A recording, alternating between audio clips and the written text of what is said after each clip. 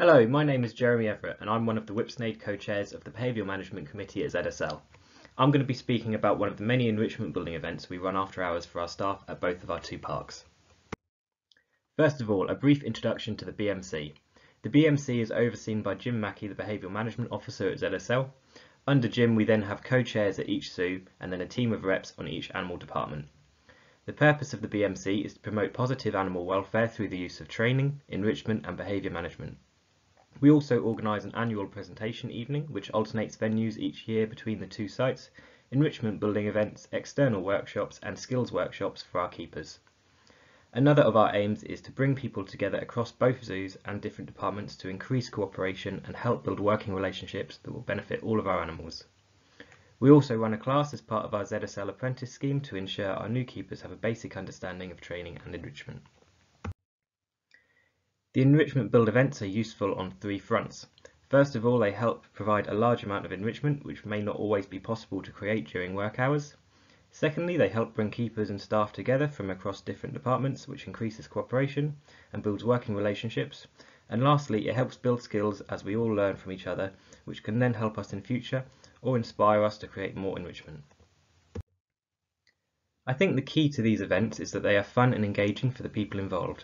They have an excellent opportunity for networking, bouncing ideas around, and also creating relationships between different departments. The room is always buzzing with conversation as you can see here, while at the same time people are working hard and building lots of great enrichment.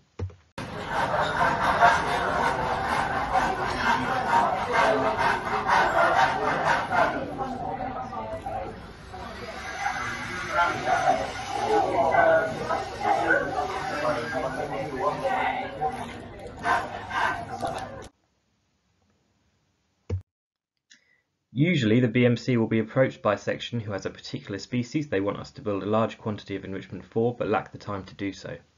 What the BMC provides is a way of creating an event, funding the food, advertising the event across the sites, and also helping to keep things on track on the night. The sections just have to provide the materials and have a plan of what needs to be done. The recent bear enrichment evening was a great success with over 25 attendees and lots of new enrichment devices created for our brown bear and sloth bear. A great side effect of these events is lots of people will see the new devices which helps to culture new ideas which they then take back to their own departments. It's very easy for us to get used to creating enrichment for our own taxa and sometimes it can help to broaden our minds to create enrichment for another species. Here's a nice video of Colombo using some of the enrichment devices created on the night.